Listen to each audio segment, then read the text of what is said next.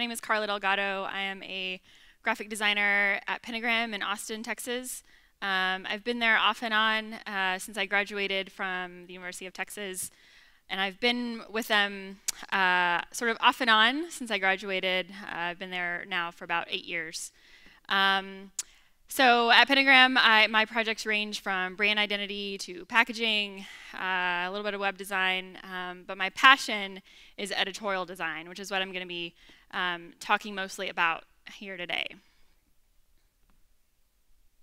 So just to give you a little bit of background on Pentagram, uh, Pentagram is an international design company with five offices, uh, New York, London, Berlin, San Francisco, and Austin. There are currently 21 partners, all with um, various expertise ranging from motion graphics to architecture to print design uh, to video, sort of every, and everything in between. So this is the Austin office um, on our recent retreat uh, in Mexico. And I love this picture so much because it really sort of um, says so much about our team. Um, we, we love each other a lot. Uh, we're kind of like one big family. Um, and we clearly don't take, take ourselves uh, too seriously. Um, there, there are 10 of us in the Austin office, six designers, two interns, an office manager, and then the partner in charge, DJ Stout, is there second from the left. Um, he, his uh, area of expertise is um, editorial design as well. He was the art director for Texas Monthly Magazine for 15 years prior to joining Pentagram. Um, and uh, he, he's certainly one of the most well regarded and um, highly esteemed editorial designers working today. Um, so, you know, clearly he's definitely the most influential person so far in my career. Um, but I actually discovered my love for editorial design um, during my off time at Pentagram, which is what I'm going to kind of kind of start out with. So um, as I said before, um, I, I started working at Pentagram when I graduated from college. And at the time, I worked uh, primarily on branding projects, which for the most part I really enjoyed. Um, until I started working on a few um, just really big, kind of mundane corporate projects. And I started to feel like all I was doing was really trying to make businesses more profitable. Um, a lot of times we were, we were hi hired by companies, um, and still are, uh, to revamp their identity. Um, a lot of times with the bottom line of you know becoming more profitable. And and as as cheesy as it sounds, I I was really kind of um, desiring for my work to hold a, a greater purpose than that.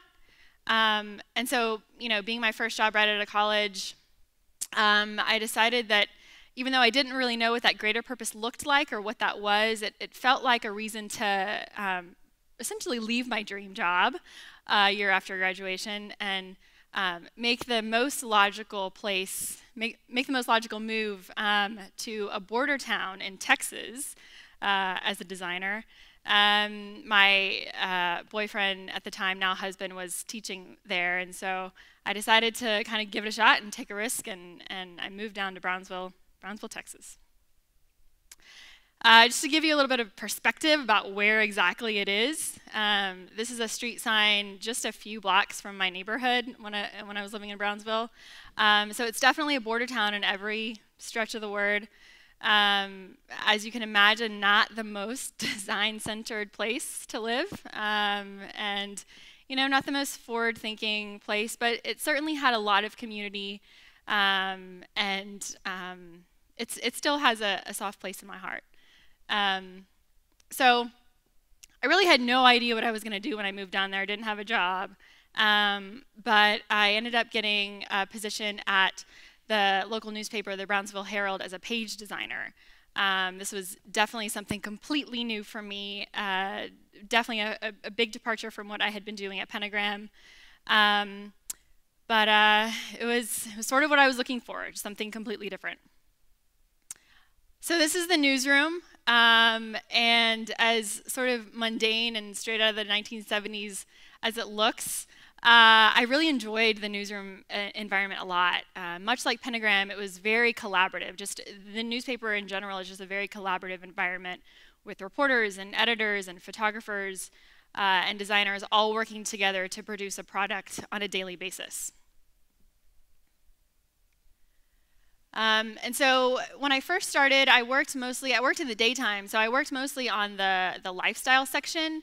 Um, so I was laying out stories about uh, local elementary school artists, uh, about small business owners, and um, about stories like the, um, the border fence and how it was affecting the community. Eventually, I got the opportunity from time to time to uh, do the front page of the paper, which was really exciting. Um, and I'm the first to admit these designs are certainly far from groundbreaking. Um, but you know, the newspaper by by nature is pretty steeply limited um, in terms of how creative you can be, and and it was also very new to me. Um, but it really was the job was really about so much more than that. Um, uh, the, the design was sort of secondary because what I loved the most about the job was the product itself. I loved the idea that um, this newspaper was being disseminated across um, the Brownsville community on a daily basis, and I had I played a role in, in providing that for the community. Um, a, a, place like Brownsville still really values the printed newspaper, and so I'd see um, guys on the street corner in the morning selling the newspaper. Almost every home in my neighborhood had the newspaper delivered. Um, and so it was just really exciting to see this sort of uh, this this thing that I was providing um, for the community. Um, so the most the most uh, the biggest highlight of my time at the Herald, um, and and really is the the most pivotal moment of my, of my career thus far um, was when I was in the airport one weekend uh, traveling home, and I was in the terminal and looked looked over, and there was an older gentleman just sitting there reading the newspaper I think it was the business, the business section that I had designed the day before. Um, and he was taking in the stories and was interested in the stories that I had chosen to put in the paper the day before, um, that I had arranged in the layout. And it was such a simple moment, um, but it really stuck with me. Um, and, and it was that moment that I really realized what I loved the most about design. Um, and that is its ability to um, provide something meaningful to specific communities. And so this man who really valued the news, um, it was something that I could provide for him. Um, even though he was pretty, was completely oblivious to the design itself, that, that's not what mattered. What mattered was that he was taking in something that I had helped to, to provide for him. And so, um, so that's really what has stuck with me, and um, and you know, just this idea of being able to to provide for the community in a meaningful way. Um, and so, really, since then, my heart has lied in editorial design, and, and that's sort of what I've been working on ever since. So um, I was at the Herald for about a year before I, uh, my, my husband and I moved to Phoenix, where I worked at a kind of small design studio, um, sort of refining my editorial craft. Um, lived there for about a year and got got out of Phoenix as fast as we could, um, uh, and headed back to Austin. Um, and I was lucky enough to to get rehired at Pentagram. They they happened to have a, a spot open again, and um, so I got hired again. And this time I told DJ that I was ready for some magazines. Um, so as I said before, I still work on a lot of branding projects um, and and you know various other um, sort of topics, but editorial is what I what I focus most on. Um, so it's really fitting that the first community that I got to design for back at Pentagram was for the was for my hometown. So this is a magazine called Giving City, and it's all about um, local philanthropy and um, nonprofit work in the city. Um, and so the the launch issue was um, about we had a few years back we had some which I know you guys are sort of familiar with. We had some really devastating wildfires in the summer um, and there was a big relief effort for that. So, um, so this was a this was a redesign of an existing publication, and it was distributed primarily through local businesses, where other sort of free takeaways um, were sort of alongside it.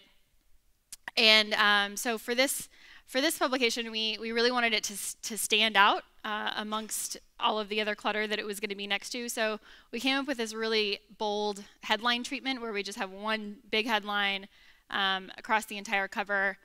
Um, and we were able to get away with doing the masthead really small down the side. Um, and this was an example of something where the client really trusted us and trusted that we were um, we were the um, experts she she hired, and um, and so she went with it. Uh, we pr produced four issues for them. Um, second issue was was about how to volunteer and contribute uh, with families and, and kids. Uh, then there was an issue about um, innovative phil philanthropists in Austin. Um, and then this last issue was about the uh, Ballet Austin and the Nutcracker and how it had, over decades, um, really contributed to, to, the community in a lot of ways. Um, so what we really tried to do with this publication was um, sort of keep it very kind of clean and simple, um, but also have lots of um, areas of, of varying hierarchy. Um, so this was the the opening news section. So just kind of short, a bunch of short, short stories um, that we uh, sort of arrange so that the reader has kind of different points of entry. Um, again, just keeping the design really clean and straightforward, um, and nothing too tricky or cutesy.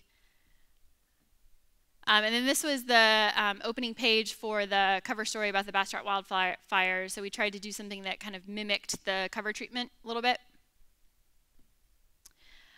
And it was a, it's a small publication, really kind of a half, half sheet size. And so we, we still wanted to use photography in a big way to kind of help it feel a little bit more substantial.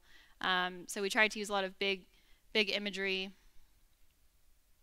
Again, different points of entry. This was another short feature um, where we had kind of a short story on the left and then some different bullet points in the middle and then um, some, some kind of statistics towards the bottom. And then this was the story about the about Ballet Austin and the Nutcracker. And um, what was really interesting here was instead of we sort of had a different take on it. So instead of kind of doing the the more expected um, photographs of the production itself and the dancers. We focused on the costumes because the costumes had been around for years and years and years. So they, they themselves really spoke to um, the, the ballet's impact um, over the course of you know, the last few decades. You, can cut, you, cut, you could kind of see their, um, their wear and tear in the photographs, but a couple of interior layouts. So uh, another community that I've gotten to design for is for Drexel University, which is in Philadelphia. And um, this is actually one of my most favorite projects that I've had the opportunity to work on. Um, they hired us to redesign their research publication, so all about the various research projects that they have going on uh, on campus, everything from um, biology to robotics to law and education. Um, and so we decided to sort of capitalize on the fact that they have an X in their name, which is pretty unique, and it, it also has kind of a, the X is pretty scientific just alone. Um, so we did this really big graphic treatment with the X um, that wrapped around from the back to the front cover. And then by, in terms of the masthead, by wrapping the word Drexel around, starting with a D on the back cover, the R is on the spine, and then EXEL is on the front, so the, the publication came to be called EXEL. Um, so we sort of created a new a new name for the magazine.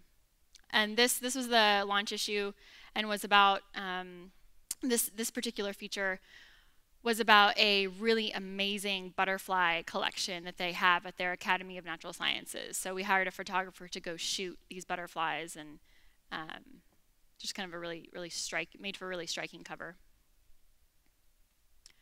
Um, we've done four issues for them so far. It's an annual, so we only get to do it once a year, but um, but it makes it, it, gives us the opportunity to really um, to really go heavy and um, and uh, sort of call out all the stops uh, for each issue. So the second issue was about endangered fish in um, in the Amazon. Uh, this third one over here on the on the bottom left was about um, some students that had created a, a, a, farming tool for rice farmers in Thailand that they built out of blue PVC pipe. Um, and then this last one was really, really amazing. Um, it, the feature was about a um, the largest plant-eating dinosaur ever found. Uh, that was that's called the Dreadnoughtus, um, and it was discovered by a Drexel researcher in South America. Um, so for the main goal for this publication was to really take all of this really, uh, a lot of times scientific and complex um, content and really make it so that it's uh, accessible to most of their readers because um, most of the, the readers aren't necessarily researchers and if they are they aren't all versed in um, you know robotics or molecular biology and so uh, we started um, we really started that off by um, by a really really really visual TOC to kind of um, to, to grab people in and, um, and sort of really captivate the reader.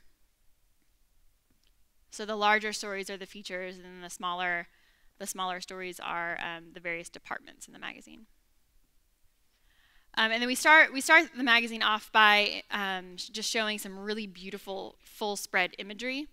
Uh, in this issue, it was uh, we featured these photographs that were, uh, they're microscopic photographs that the students had taken and then hand colored after the fact.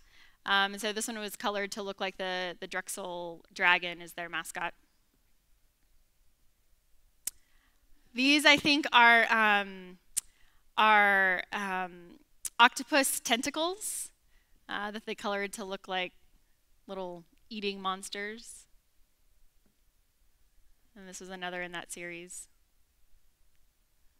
Um, and then for, for all, of, all of the department sections, we, um, we start with a, with, with a story that just has really great imagery. Um, so this was about this professor that was doing uh, work with fish um, and had this, these really great x-rays that, that I think we compiled all into one image. So again, really playing up the visuals of the research, less about the researchers themselves, you know, pointing at the, the computer screen, um, and more about the, the actual images themselves because they, they alone are, are pretty amazing. This is another opener about this very large turtle. And then this is an interior spread from one of these department sections where we keep the stories pretty pretty concise, pretty brief, um, and just kind of pepper it with different size imagery and, um, and pulling out numbers and pull quotes. Again, that idea of multiple entry points to kind of keep the reader engaged. Um, and then one of the things that we do a lot in Drexel, which is another one of my favorite things and uh, what my workshop is going to be about, is our infographics. Um, again, for the accessibility factor, we do a lot of infographics in this magazine to try to um, explain things less with words and more with visuals um, because that's often what people respond to most and can relate to a little bit more. Um, so these are all about taking some of the images that the researchers give us and figure out um, interesting ways to, to compose the page, sometimes using stock, um, a lot of times using um, doing uh, illustrated icons and things. These are a few more of those, um, those infographic pages. So this sort of breaks up those um, more, more text-heavy pages. And then this was the, the um, interior design for that cover story about the butterflies. So it's really, really the entire story is um, mostly really great photographs with extended captions. So this, this publication, and like most that we do, it's really all about um, trying to figure out the best way to tell a story. Um, sometimes that's through a lengthy article Sometimes it's through uh, big, beautiful images like this one. Sometimes it's an infographic.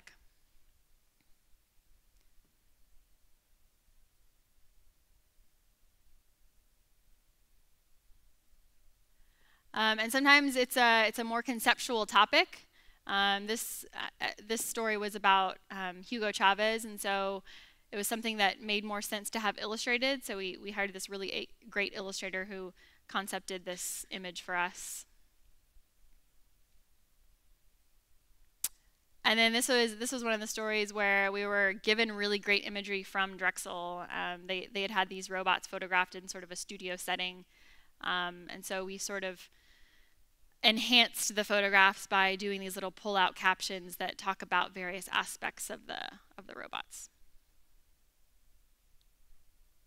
Um, and then this was that that the cover with all of the little tiny fish. Um, and here we were given just a bunch of field uh, photographs that the researcher had taken out in the field where he was holding up the fish like this, sort of in front of the camera. So we had a really, really gracious intern clip out every single little fish um, and uh, really tried to make this a bit more of an artful, artful feature.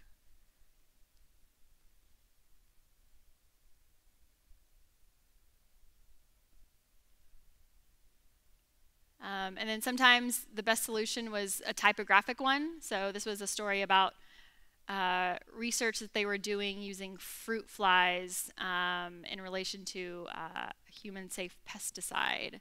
And so they had given us a bunch of kind of, you know, normal photos of, uh, of fruit flies. And we, we took them in Photoshop and inverted them so they came sort of blue neon. And then sort of used that to, to um, inspire and inform this um, really graphic layout.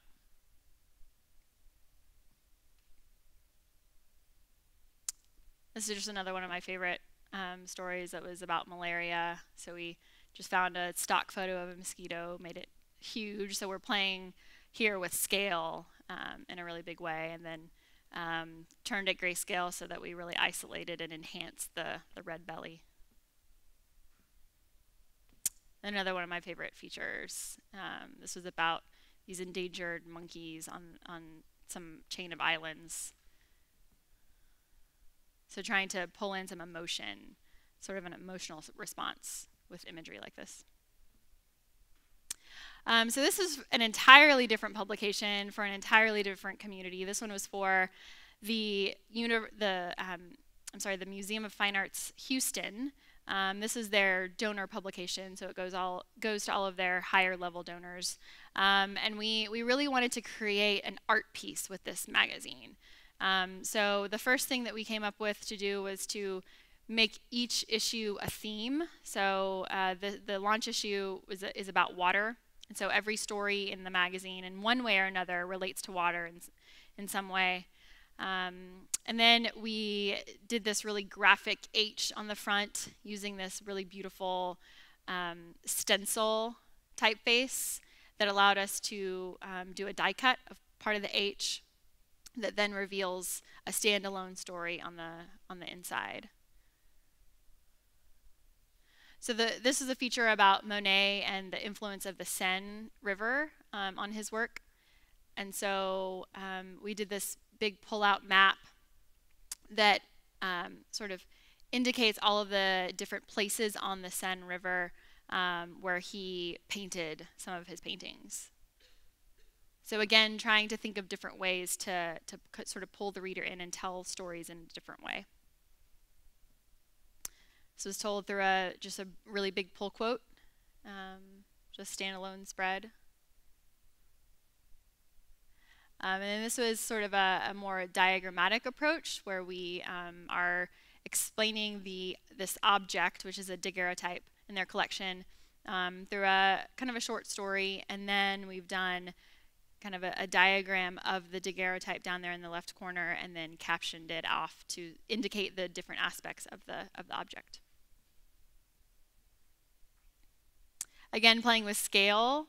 Uh, this is this was a, actually a pretty small little shell in their collection that we that we blew up really large on the spread to to really hone in on the detail that we've then um, sort of pulled out and indicated in captions on the bottom left.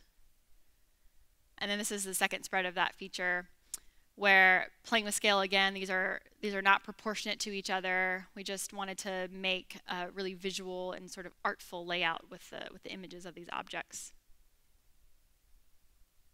So like the, the pelican there at the top is, is actually a pendant on a necklace, um, just to kind of give you an idea of how we are playing with scale. Um, and then this was a, a, feature in the same issue about water, about um, these photographers that did this photo series of water towers. So this is also about, um, this magazine is also about um, sort of interpreting the theme in, a, in sort of a loose way. So you get these really interesting juxtapositions, like this pretty contemporary photo series of, of um, water towers juxtaposed against the, um, the, the paintings by Monet. And then this is another sort of diagrammatic approach again, similar to the daguerreotype, playing the scale again. Um, and then this was another pullout that we did uh, where the story was about this screen and the different motifs that are um, that are often in these these Korean screens. Um, and so we did these little silhouetted icons um, derived from the the various uh, motifs in the in the screen, and then had little captions about what they signify. And then this was sort of similar to that quote spread, um, where the whole story is really told by this this long quote um, which uh, points out different details of this piece of piece of art. Um, and so then this this is another one of the publications that I'm most proud of. Uh, this is a magazine that we do for the World Wildlife Fund. Um, they hired us to really revamp their whole suite of publications for their members, um, and so we uh, we created this um, this magazine for them where we started with the um, the masthead in this outlined type to sort of symbolize the fact that World Wildlife is the content of the magazine. They they're made up by these stories, and our our our concept in terms of imagery was another one that we were really excited that the client went with because um, it's definitely unconventional. But we start with with some kind of texture that uh, sort of a macro texture that um, that relates to one of their uh, one of their projects, so that when you open the first the opening spread, this is called the reveal. Um, you sort of reveal what that um, what that cover texture was, and then it has a, a standalone story as well. So this obviously was about elephant ivory.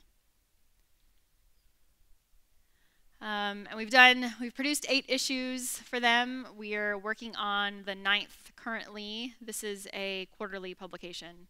Um, so some of the, you can see some of the textures are more obvious than others, so it sort of ranges. Um, uh, so that's, that's kind of the suite of covers as they, as they stand.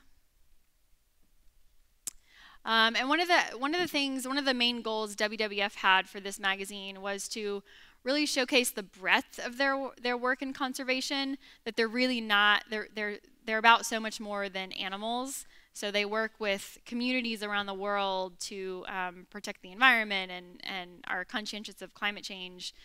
Um, and so they're they're really they really take a more holistic approach approach to conservation. And so we we started off by um, creating a, a, table of contents for them that really kind of showcases in each issue the breadth of their work around the globe. So each story is assigned a country depending on the topic um, and then indicated on the map. Um, and then again, this this we, we tried to tell um, different stories in different ways in this publication, just like the previous ones that I've shown. And so one of the one of the pages, one of the departments in this magazine is called Object of Conservation. Um, and it's where we photograph a, typically photograph a, um, an object in a studio setting and then have captions and diagrammatic elements that, that sort of tell the story of this object and, and what its purpose is. This was in the launch issue and it was about a camera trap. And we, we had, it was really neat because we had a local photographer in town build this whole diorama scene. Um, so he acquired this deer um, and built this whole scene. Nothing was photoshopped. Um, and then this is these are three other examples of that same page, that object conservation. Got a, got a fish hook down there, and then a sniffer dog's nose, um, and then a, a cooking stove. And this is one of my favorite pieces in the in the magazine. It's called Caught in the Act, and it features just a, a really arresting image of a moment in nature that was caught on film. Um, so something like a, a, chameleon just about to catch its prey, or a, a penguin uh, about to hit the water. Um, and then this is another um, another section that's one of our favorites. It's called Gallery, and here we we try to feature um, artists that have done some kind of work relating to animals. And so a lot of times we feature photographers. This is a photographer that did a whole photo series um, where he took microscopic photos of bees.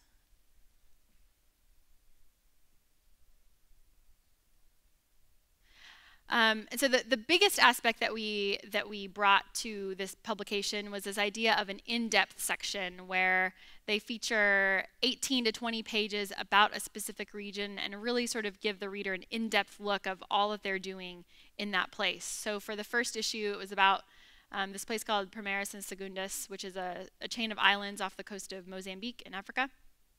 So we start off with um, a really big full spread um, imagery or photograph that sort of introduces the, um, the section and then it has its own little TOC. And then we always feature some kind of infographic in this section um, that sort of tells a, tells a story about the place in a very visual way.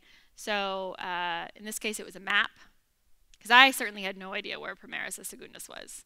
Um, so a map sort of made sense to to um, to give the reader a sense of location.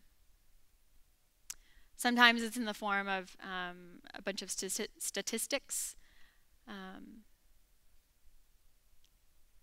and then sometimes it's more of a diagram. So this was, uh, the, the feature was about illegal fishing, actually. The whole in-depth section was about illegal fishing.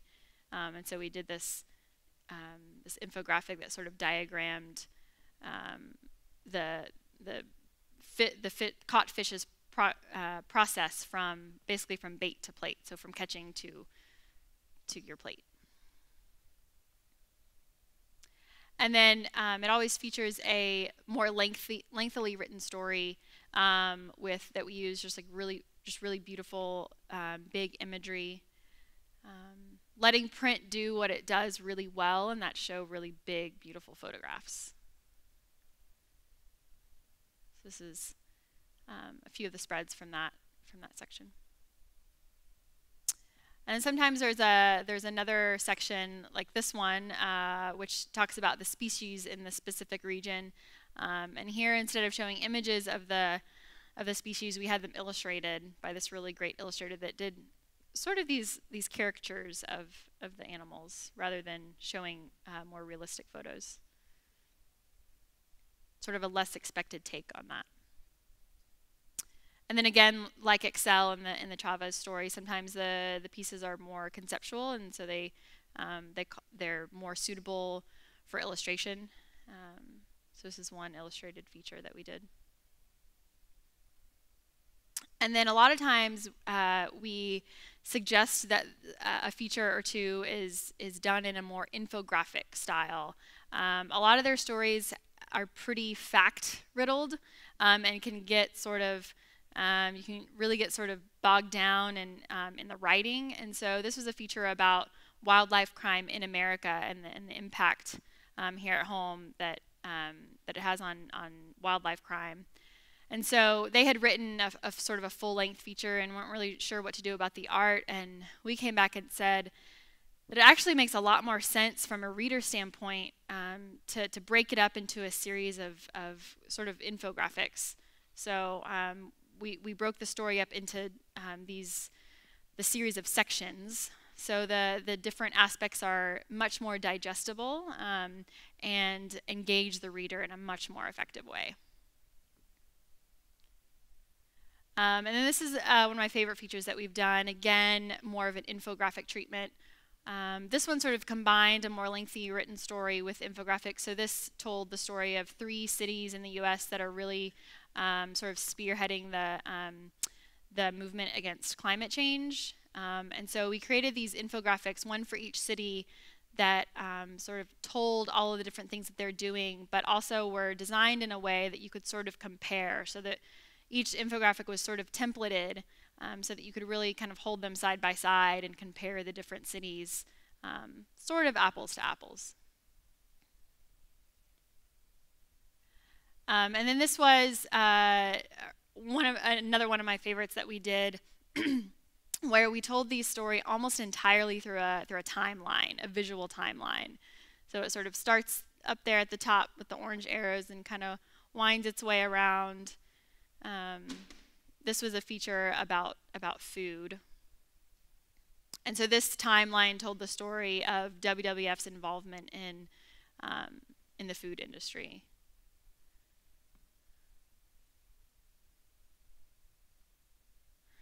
Um, and so I'll leave you today with the biggest, uh, certainly the biggest editorial project that I've worked on thus far, and that is the um, collaboration on the design and production of DJ's design book, which is a retrospective of his um, editorial career over the last 30 years.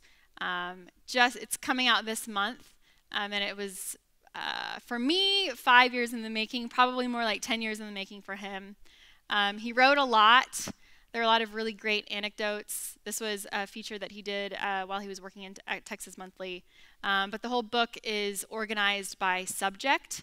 So the first subject is animals, and this is the horse section. Um, being a guy from Texas, he has lots of lots of horse stories. Um, this is the cows. Uh, we actually have these portraits, these cow portraits hanging in our office.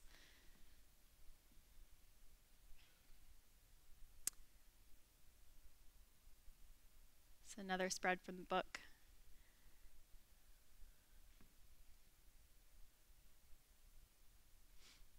So we sort of, and this we're getting into the, the water section. Um, so the um, the book is really sort of broken up by these longer, lengthier essays that sort of tell the story behind that that particular project.